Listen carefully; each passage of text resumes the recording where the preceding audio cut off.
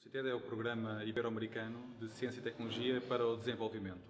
Portugal faz parte, trata-se de uma estrutura oficial que reúne 21 países, Portugal e Espanha, e mais 19 da América Latina. Funciona como se fosse uma fundação para a ciência e tecnologia, mas ibero-americana. O CITED apoia, sobretudo, redes de trabalho que duram 4 anos e que uh, apontam para a resolução de problemas com valor social, tecnológico para toda a região ibero-americana. Uh, são redes que costumam envolver cerca de 5, 6 países, 7 países, e uh, o que fazem é promover encontros, desenvolver protótipos e tudo isso são depois uh, agendas que podem até sobreviver para depois dos 4 anos. O impacto é muito grande, embora os recursos não sejam tão poderosos como seriam de desejar, e Portugal tem tido sempre um papel muito produtivo, muito positivo. É um país uh, central, apesar de ser uh, pequeno, é um país que está entre as redes uh, mais destacadas, tem liderado redes também elas próprias muito interessantes e muito marcantes, desde biorrefinarias de algas até uh, urbanismo ecologicamente sustentável, até diferenciação de produtos uh, da, da, área da agroalimentação. Uh, o ano passado, a última rede que nós temos foi aprovada, portanto, começou em 2016 uma nova rede que vai estudar tudo o que são intercâmbios uh, promocionados, promovidos pelo, pelo, pelo mar, uma rede de cultura. Uh, tudo o que temos aqui são uh, assuntos estrategicamente relevantes para uma região que tem mais de 600 milhões de habitantes. Eles podem estar no domínio da saúde, da energia, tecnologias de informação, desenvolvimento industrial, mas também ciência e sociedade.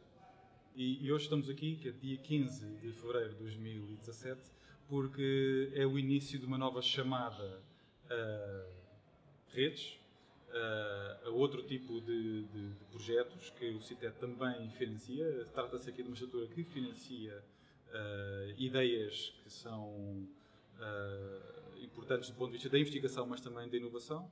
Reunimos aqui pessoas que têm alguma afinidade com, com o CITED, pessoas que estão em redes CITED. a Universidade de Évora tem tido muita gente em boas posições dentro da rede CITED, sabe como fazer, pode fazer ainda mais. Portugal é um país importante, mas é um país que pode ainda tirar mais partido deste tipo de financiamento. É um mundo uh, de muitas diversidades, é um mundo em que os investigadores portugueses tipicamente se sentem bem.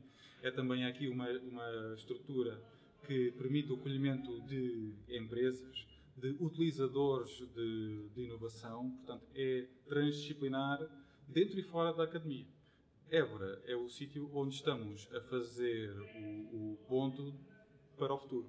Porque começa hoje mais uma chamada, vai, vai durar uh, cerca de dois meses e queremos que muita gente de Portugal e, sobretudo, que portugueses em redes uh, e parcerias ibero-americanas possam concorrer e ter a partido. A Universidade de participou nesta rede de energia que se chamava Rede N, um, com vários investigadores. Uh, de, vários, de vários departamentos, inclusive, e foi realmente uma participação uh, interessante e que nos abriu portas para contactos uh, internacionais na, na, América Latina muito, muito grandes.